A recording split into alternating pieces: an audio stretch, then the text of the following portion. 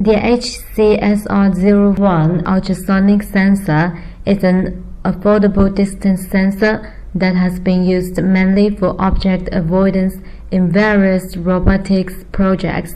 It essentially gives your Arduino eyes or special awareness and can prevent your robot from crashing or falling off a table. It has also been used in turret applications, water level sensing, and even as a parking sensor. Now let's do a simple module test. First, connect this board to computer with a USB cable to download the program. Then go to Device Manager to check if it is correctly connected. Right-click Computer, go to Properties, click Device Manager, and click Port. You can see Arduino Uno R3 COM6, meaning board is successfully connected. Now open Arduino IDE, click Tools. For board, select Arduino Uno.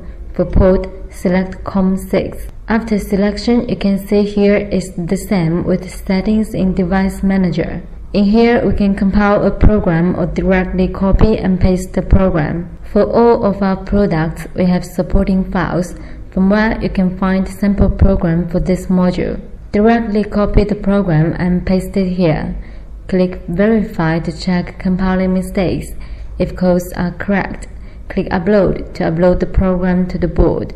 After uploading is done, let's do the wire connection. You can see this module has four pins, namely VCC, trigger, echo, and ground.